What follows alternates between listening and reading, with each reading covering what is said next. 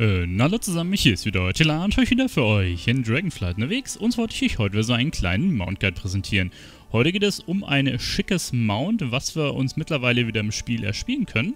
Und zwar haben wir hier einmal Tyraels Streitross und dieses Mount gab es vor einigen Jahren, als Diablo 3 rauskam, wenn man einen WoW Battle Pass abgeschlossen hat und dementsprechend für ein Jahr im Voraus bezahlt hat. Mittlerweile kann man das wiederkriegen. Es kommt nämlich jetzt dann bald Diablo 4 raus und dementsprechend hat Blizzard ein Promotion-Event gestartet und dieses Promotion-Event schimpft sich einmal ein gieriger Abgesandter. Und dieses Promotion-Event geht vom 25. Mai bis einschließlich 14. Juni. Danach gibt es ein weiteres Diablo-Event, äh, Willkommen in Sanctuario und da gibt es dann, glaube ich, 50% mehr EP, also auch nicht ganz so schlecht.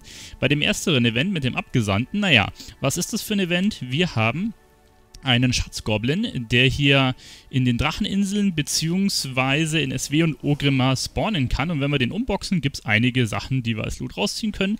Unter anderem halt auch dieses Tyrell Streitross.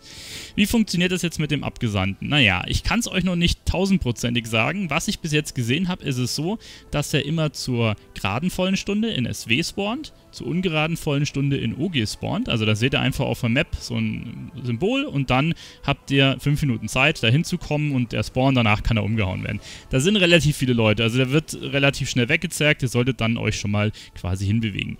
Ähm, jetzt ist es so, dass er noch zusätzlich immer zur halben Stunde irgendwo auf den Dracheninsel spawnen kann. Also wenn dann spawnt er auf der ähm, Küste des Erwachens, Ebene von Onara, Azublaus Gebirge, Taldrassus oder, wie bei mir gerade, in Waldracken. Und das Komische ist, in Waldracken spawnt nicht ein Portal, es kommt ein Schatzgoblin raus und dann müsst ihr wieder eine halbe Stunde warten, wie es jetzt eigentlich bei allen anderen Dingern ist, sondern wenn er in Waldracken ist, dann hatte ich hier ein Portal, nach 5 Minuten ist er gespawnt, umgehauen, dann ist hier ein Portal gespawnt, jetzt spawnt hier ein Portal, also spawnen jetzt anscheinend, wenn das Event in Waldracken ist, im Abstand von 5 Minuten die Goblins. Mal gucken, wie lange das jetzt noch geht.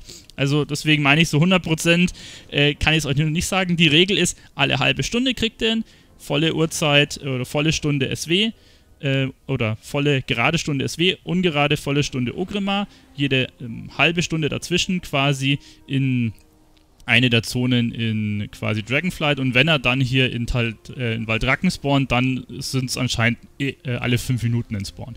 Gut, in 30 Sekunden spawnt er jetzt. Übrigens, es gibt noch ein paar weitere Sachen. Unter anderem gibt es einiges T-Mog-Stuff, äh, den ihr hier quasi looten könnt. Ich werde euch gleich mal alles zeigen. Es gibt einige Toys, auch ein paar alte Sachen, die rausgenommen worden sind.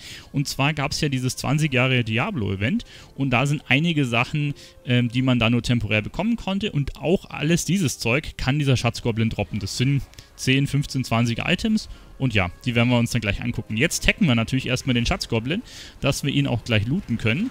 Ich bin hier mit vier Chars, dass ich auch ein bisschen extra Loot kriege, denn unter anderem droppt er auch eine, äh, eine Schatzkiste, äh, ne, einen Beutel, so rum, keine Kiste, den ihr tragen könnt als einfach Behälter und der ist ein 36 Slot Behälter, also das größte, was es bis jetzt in WoW gab und ja, den mit dem einen oder anderen Chart zu haben, in Anführungszeichen for free, ist eine ganz nette Angelegenheit. So, das leckt jetzt hier ein bisschen. Ich würde sagen, die lassen wir jetzt erstmal umhauen und wir gucken uns derweil die Belohnungen an. Also, es gibt einmal einen Pet, diese rote Ziege, die sieht genauso aus wie Baal.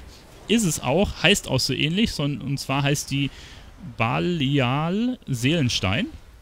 Dann ähm, gibt es einige kosmetische Sachen und das Mount unter anderem. Hier seht ihr den Schatzgoblin, ne? unter den ganzen Leuten haben wir das jetzt hier schlecht gesehen, deswegen ähm, können wir das hier uns nochmal ein bisschen genauer anschauen. Also so sieht der Schatzgoblin aus. Da haben wir aber das Pet, das droppt. Dann gibt es hier quasi so ein T-Mog-Item, was ganz nice aussieht, ein neues Toy, diese Flagge. Dann gibt es hier noch mehr T-Mog-Sachen, den Rücken. Ne? Dann haben wir das Mount. Dann haben wir einige Waffen-Items. Die sehen relativ ähnlich aus mit einer gewissen Farbvariation drin. Und was wir dann noch haben, ist halt wie gesagt diese 36-Platz-Tasche. Dann ähm, haben wir ein Achievement, wenn wir das Pet lernen. Dann haben wir eine Zweihand-Axt. Ähm, und zwar ist, oder ist das eine Stangenwaffe? Ich weiß es gar nicht genau. Auf jeden Fall eine Zweihandwaffe haben wir hier. Die gab es aber schon mal bei diesem ähm, 20 Jahre Diablo-Event. Und es gibt zwei Toys, die es auch bei diesem 20 Jahre Diablo-Event gab. Und ähm, ja, zu denen hatte ich, glaube ich, auch schon mal Videos gemacht. Zum neuen Toy habe ich auch schon ein Video aufgenommen, falls euch das interessiert. Und diese Sachen können alle bei diesem Schatzgoblin äh, droppen. Die ähm, Kiste oder die Tasche habe ich hier schon im Inventar, seht ihr? Das ist ein 36 Platz äh, Beutel. Und das größte, was wir bis jetzt looten konnten, waren durch zwei Events jeweils 34 Platztaschen, ne?